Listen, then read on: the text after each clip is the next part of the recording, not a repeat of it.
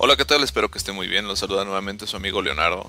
En este caso voy a mostrarles cómo subir estudiantes por un bulk utilizando la este, aplicación de Hill de Connected. Lo primero que nada, eh, quiero que noten que tenemos nuestra sesión de incógnito. Es muy importante y voy a hacer un poquito de paréntesis aquí que cada vez que nosotros iniciemos sesión lo hagamos en incógnito y habilitando las ventanas emergentes. Podemos hacerlo en nuestra sesión normal, simplemente recuerden que la sesión de Google Chrome normal, de preferencia borren las cookies constantemente para que no se queden con problemas de inicio y de este, cerrar sesión cada vez que ustedes vayan a trabajar con la plataforma. Posteriormente quiero mencionarles que los profesores también tienen acceso al mismo, a la misma importación de estudiantes.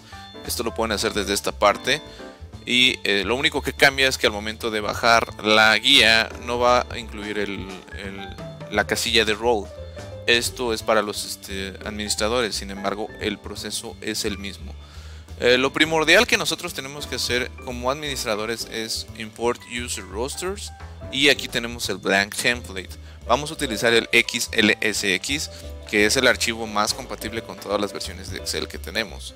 Entonces vamos a esperar a que abra y una vez que abra lo que vamos a hacer es acomodarlo de esta manera seleccionando primero habilitando el botón de eh, eh, edición vamos a seleccionar estas casillas y dándole doble clic aquí se van a mostrar todas tal cual como deberían ser entonces lo importante de aquí es que nosotros debemos de seleccionar solamente 5 rubros perdón 6 como lo son el user ID, el role, el first name, last name, username y password. Entonces vamos a proceder a llenar estos datos para nosotros poder este, hacerlos. Vamos a empezar por el user ID. Mi recomendación es que lo creen tal cual eh, como va el username, es decir, que se repita.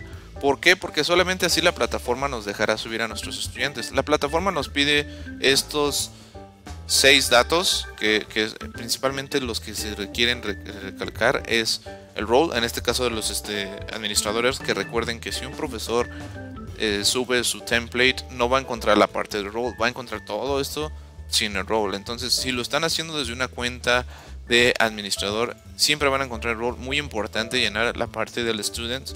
Vamos a ir aquí con nuestro first name and last name y el correo. El correo es opcional realmente. Si lo tienen, pueden llenarlo. Si no, no. En un momento dado, el, alumno lo puede agregar después. Pero lo importante y lo que nos pide la plataforma es el username. Yo voy a duplicar o a repetir más bien el mismo username que mi user ID, que es exactamente lo mismo. Si nosotros no llenamos esta parte del username, la, la plataforma nos va a decir que se llenó con algún error o no simplemente nos va a decir que no se puede subir. Un password siempre es indispensable porque se, dieron cuenta al inicio de yo iniciar sesión o ustedes mismos, simplemente la plataforma no avanza si no ponen ni un username ni ningún password. Entonces, estos son los seis rubros que la plataforma nos pide para poder subir un estudiante. Vámonos a guardarlo. Vamos a guardar. El nombre lo pueden cambiar. Yo en este caso le voy a poner demo 1 y lo voy a cerrar para que la plataforma me deje trabajar con este archivo. Aquí tenemos el demo 1 y le damos clic en Upload. Ahora vamos a esperar a que se llene. Aquí podrán darse cuenta que yo ya he hecho diferentes pruebas. En este caso vamos a abrir este que yo lo subí sin el roll y de hecho ahorita lo, vamos a, a revisar. Todos nosotros podemos revisar qué fue lo que la plataforma nos marcó como error. Vamos a irnos acá de este lado donde dice errors. Y aquí dice role missing required. Si se dieron cuenta, yo no le puse aquí nada. Si está mi user y está mi username.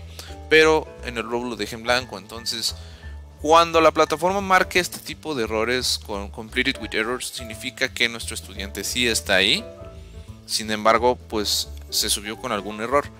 Y cuando lo marque en verde, que es lo que buscamos, es que los estudiantes ya se subieron y no tienen ningún problema. En este caso, pues aquí tenemos varios completed errors y algunos failed. Entonces vamos a esperar a que se suba la plataforma eh, este archivo que acabo de hacer. Simplemente vamos a pausar tantito en lo que sube. Y muy bien, aquí ya podemos observar que la plataforma ya lo ha subido de una manera correcta.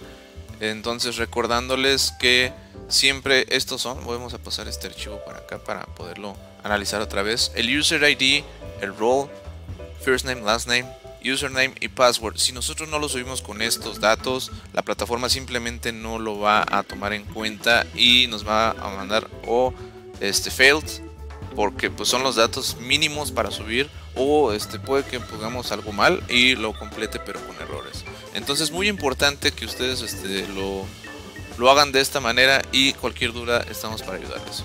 Muchas gracias por su atención. Hasta luego.